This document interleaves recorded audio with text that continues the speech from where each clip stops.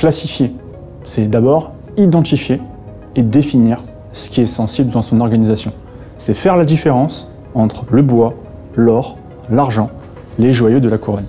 Chiffrer, ça va être protéger ces joyaux, ça va être contrôler les accès à ces joyaux, à tous vos secrets, à travers tout leur cycle de vie.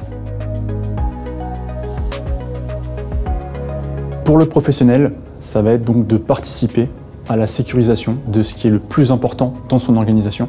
D'un point de vue personnel, ça va être de se sensibiliser afin d'être sûr de ne pas mettre ses données personnelles entre des mauvaises mains.